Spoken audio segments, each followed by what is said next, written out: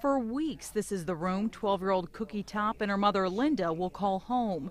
Cookie is receiving treatment at Children's Hospital of Wisconsin for a rare and aggressive form of lymphoma. I was pretty healthy before this all happened, so it was surprising in a couple ways, but you know I could get through it. But on Monday, Cookie and Linda found out they were getting help from the fourth best children's hospital in the country. I'm not surprised at all. I am, and I'm so proud of, of everybody and that everybody is getting this great recognition because it's so well deserved. Parents Magazine revealed its survey findings, which will appear in its March 2013 issue.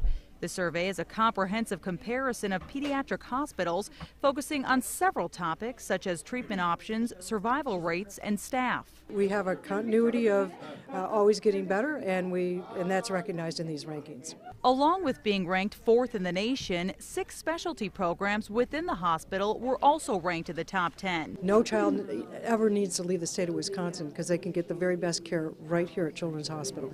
And that's how the tops feel as Cookie is preparing for a bone marrow transplant. We're going for a cure, and, um, and we've got the right medical staff behind us to get us there. We're confident. As her slogan is one tough cookie, this fighter plans to be back at school and playing sports again by the fall. In Milwaukee, Laura Langemo, Fox 6 News.